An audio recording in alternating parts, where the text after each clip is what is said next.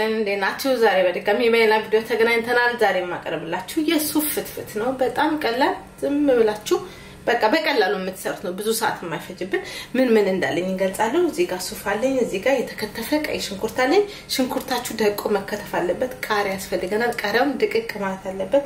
ጨው ያስፈልገናል። እዚህ ጋር አያችሁ ሱፍ አለኝ። ይህን ደግሞ ቀቅየው ነው።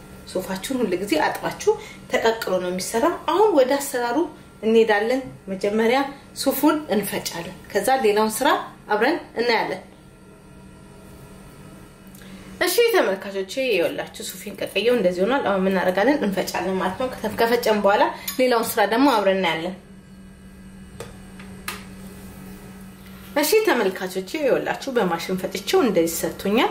ግን ውሃ ትንሽ ጠብ አድርጌበታለሁ። ለምን ማሽኑን አያንቀሳቀስላችሁም? ውሃ ጠብ እያደረጋችሁ ፍጩ። በመቆጫ ከሆነ ደግሞ ያው ታቆታላችሁ ሁላችሁ ምን አይነት እንደሚሰጠን። አሁን ይህን ምን እናደርጋለን መስላችሁ? ይህን አጋብቼ ወደ ቃረግና እቀላቀልና አብረን እናያለን። እሺ ተመልካቾቼ የወላችሁ ፈጭቼው እንደዚህ አድርገዋለሁ። አሁን ምን ጨምራለሁ መስላችሁ? ውሃ ጨምራለሁ። አሁን ጨምራለን።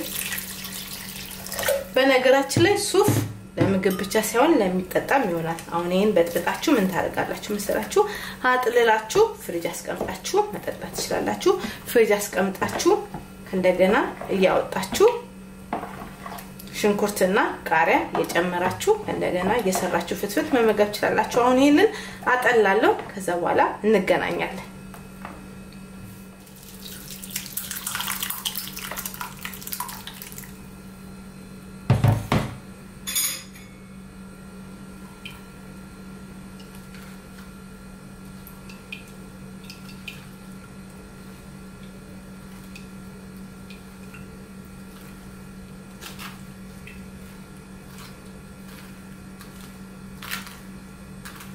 እሺ ተመልካቾቼ ይኸውላችሁ እዚህ ጋር አጥልየው አይታችኋል። እዚህ ጋር የጠለለው ይህንን ደግሞ በቃ እንጥላለን ማለት ነው። ይህንን ደግሞ ፍሪጅ እናስቀምጥና እየቀነስን በፍትፍት መጠቀም እንችላለን፣ መጠጣት እንችላለን። አሁን ደግሞ ሌላውን ስራ አብረን እናያለን። እሺ ተመልካቾቼ አይታችኋል። ቀቅዬው ፈጭቼው አጥልየው አይታችኋል። ሶፌን ምን እጨምራለሁ መሰላችሁ? እዚህ ላይ አሁን ሽንኩርት እጨምራለሁ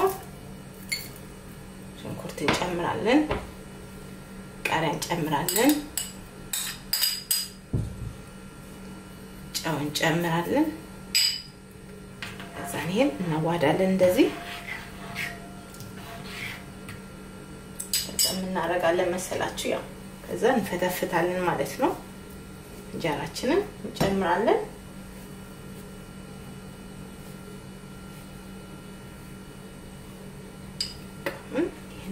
ፍልፍት እናደርጋለን። እንደዚህ አያችሁ እንዴት እንደሚያምር